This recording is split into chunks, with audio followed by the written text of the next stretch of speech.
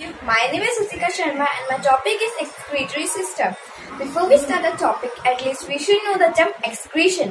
Excretion means the removal of the waste from a body and the organs which are used to remove the waste from body is known as an excretory system.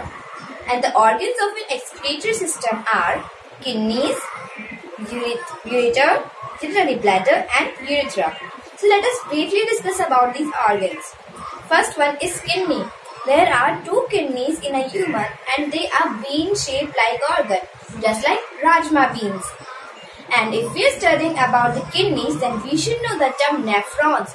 Nephrons are the smallest functional unit of kidney which works like filter and removes the waste from our blood and forms the urine. And kidneys are present in the abdominal cavity of a human. Next one is ureter. Ureter is a pipe-like structure which transport urine from kidney to the urinary bladder. It means that when the urine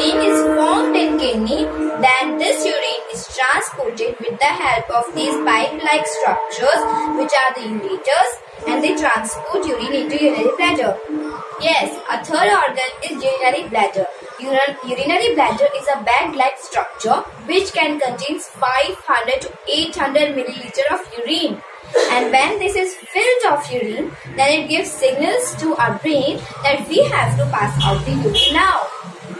And then this urine is passed out with the help of urethra, which is a pore-like structure which pass the urine.